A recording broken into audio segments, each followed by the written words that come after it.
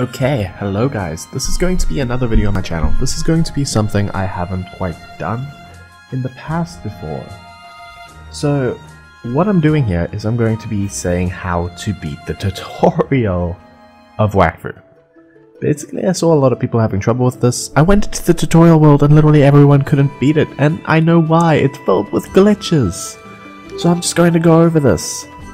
Would you like to do the tutorial? Yes. First of all, you may only choose one character. You know, this person. But don't worry about that.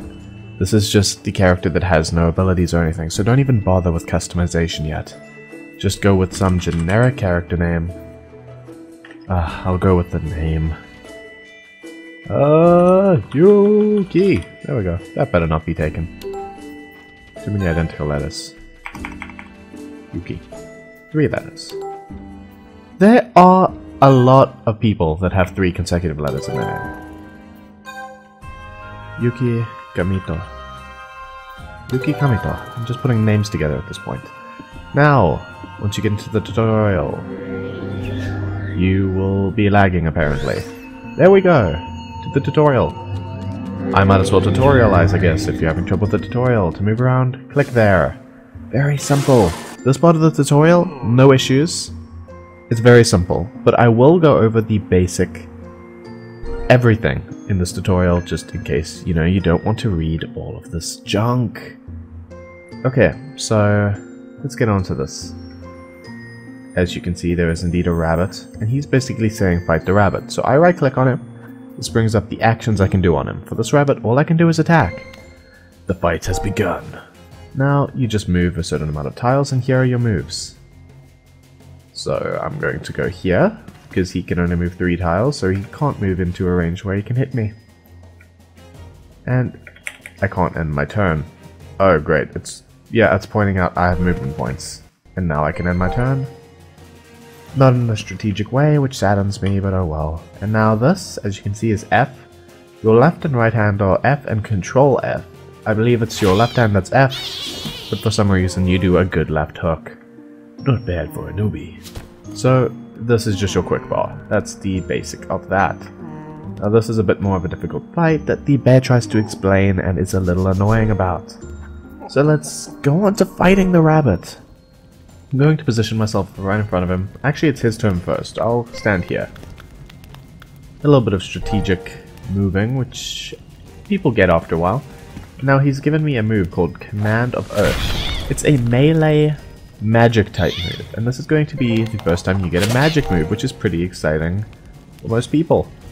So doing damage from the sides and back does do more damage than hitting him from the front. That is what you'd expect from fighting in general. In that regard, this game is quite good at interpreting that. It's quite encouraging to move to enemy sides. However, later in the game you'll be introduced to locking and things like that which are a pain in the butt. It basically means someone if someone's lock skill is very high and they click the lock button when they're in combat with you, you have to have really high dodge to get away from them. So it's hard to get away from them. It's not the dodging in which you would think, you know, in that they dodge an attack. No, it's they dodge you and they get away from you so that they can do some ranged attacks. Hmm. Yeah, yeah, I know I have talent. Now, may I please get to the real tutorial? I love how this tutorial is so glitchy that I need to do a tutorial on it. Now, the reason I'm doing this. Firstly, you have to go talk to this guy. Just get it done. He basically tells you, hey man, go get some DNA from the rabbits. So you'll go down to this garden down here, talk to, the, well, right click on the rabbits and harvest their DNA. Harvest as many as it says. So, you know, I believe he said three. Yes, harvest three wooden seeds. I now have three wooden seeds. Here is the issue. A lot of people couldn't plant. I don't know if this is yet. Yep, there isn't enough space for you to plant, even though it says you can plant. Now, what do you do to fix this issue? You might be able to plant in places like this, but it wouldn't work for me in that area I was in at one point. Exactly, area is full. This is very clearly empty. There are no plants for like miles of there. Now if you want to get around this glitch, I recommend you go all the way down here. Just follow this fence. You'll eventually get to this area that's nice and clean. go plant here. It's the only area I could ever find within half an hour that worked. So just plant, you know, plant three wooden seeds like the game tells you to, and you'll be fine. It's really annoying. There are no things in the quest saying, hey, you can only plant in this specific area. You're supposed to plant anywhere in the garden, and the game even tells you that you can. What these do, by the way, is because you harvested from Woodent's DNA, you're planting Woodents, basically, and the mob will grow. The reason that is helpful is because you can farm them, you can kill them, get their loot drops later in the game, and it's really helpful. It's really quite a neat little mechanic that most games don't do. Hello, Yuki Kamutu, Kamitu. I'm Wolfram the blah blah blah. Actually, I didn't want anything. Whatever. The free three members of the rabbit family. Okay, I forgot about this part. Just kill three rabbits and you're done. It's exactly what you'd expect. Very simple. Walk up to the rabbit, punch it across its silly little face. I guess I maybe should have done my magic move, but I don't think I can kill him in one hit anyway. There's no difference between you know, 7 damage and 6 damage if he has 10 health. So let's just fight this quickly.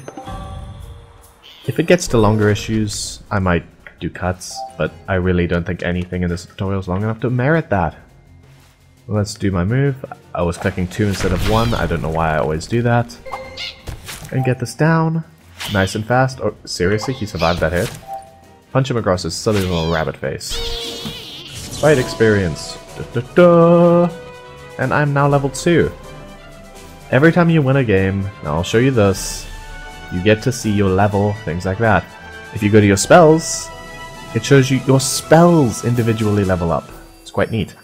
If this game wasn't so pay-per-monthy, I would completely adore it and play it every day, basically. I seriously do think this is awesome. Now, let me actually kill the rabbit. Uh, I think loot drops are actually a thing here too. I haven't been paying attention to loot drops because who cares about the drops you get from the tutorial zone? They are worth nothing. No one will ever give you a cent for it. Unless they are a madman. There we go. Nice and cleared. Okay, there's my XP bar at the top. Now let's go back and talk to Wolfram. I believe that's the next pod. Uh, oh right, no, I have to distribute one skill point. To do that, click P or click on here display abilities, and now here's all the abilities. If you want a quick rundown, I'll give it to you. Percent HP. It increases your max HP. Very simple. Resistances. Increases your resistances to elemental damage. Very helpful. Resistant.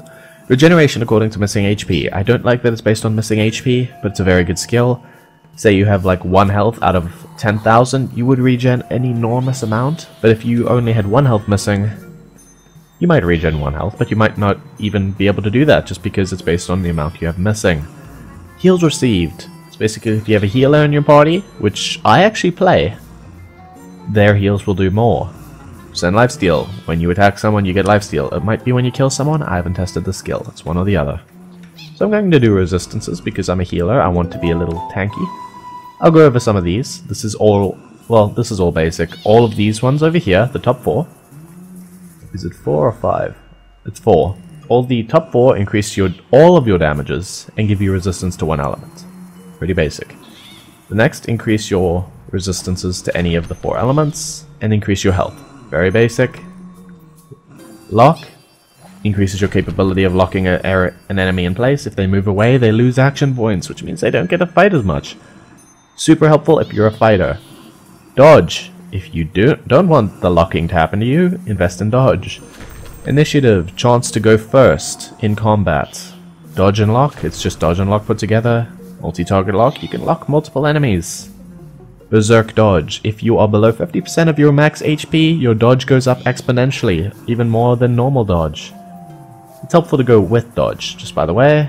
And this is the last piece I'll cover because I don't know enough about Major to cover that. Critical hits, you can expect, well, all of these are actually pretty basic. If you hit someone from behind, do more damage from behind, critical damage, all that sort of stuff.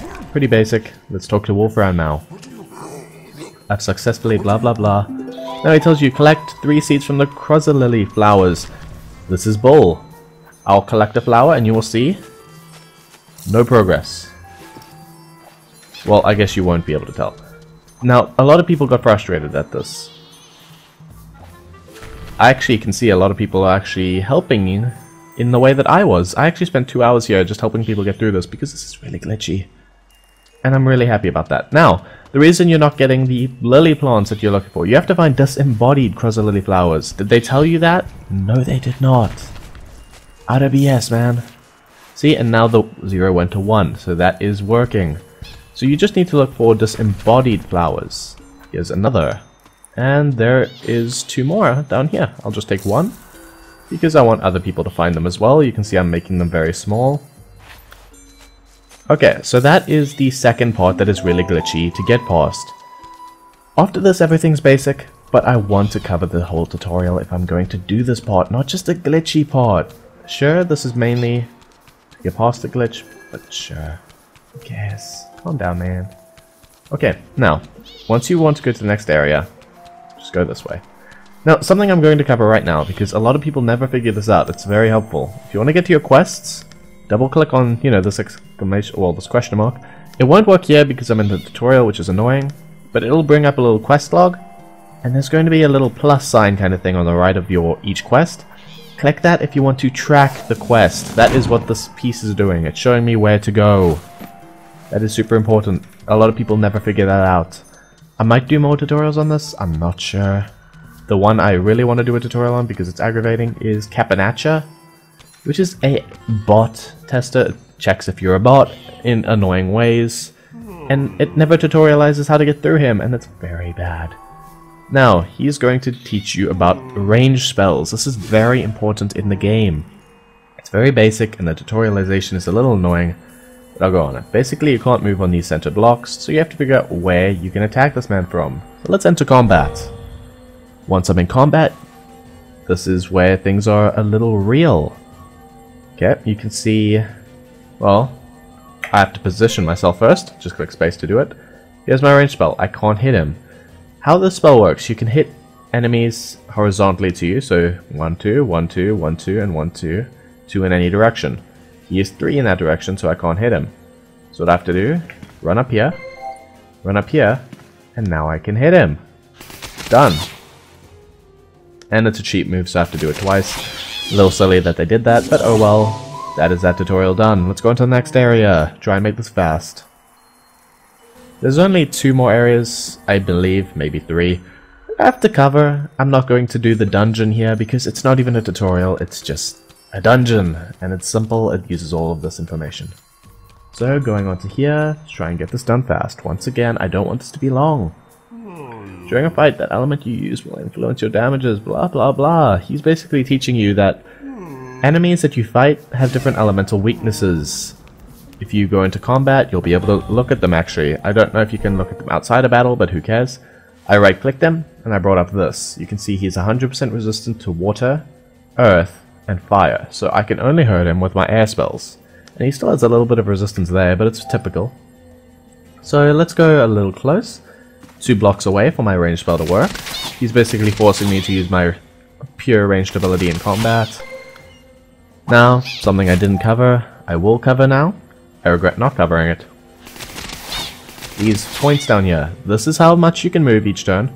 I have two left, so I can move two tiles. I could use more if he locked me in, which means if he used his lock ability, moving away from him would have probably cost 2. These are my action points. They are used on moves. This move costs 4, this move costs 2, and this move costs 3. Very, very basic. Once again, this is something I can't think of right now. That's kind of bad. I don't think I've ever used this. I'm going to point that out. I've never used that, and I'm like a level 20 something on my other accounts. So, pretend they don't matter. That is my way out. I have to think outside of the box a little. By think out of the box, I mean run until he lines up with this move again to kill him. A little bit of an annoying way to do this. Don't know why I didn't do it all three times. But let's attack him. Okay, done.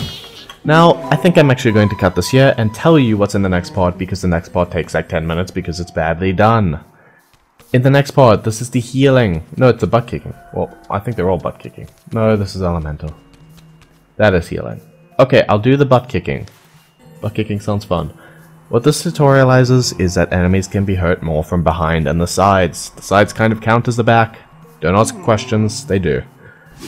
The next part that happens though is, well, obviously I'll just position myself, but it's going to put me back there anyway. It does that in all games, sad to say. Now, what it does in the next area is teaches you how to heal. It's kind of unimportant.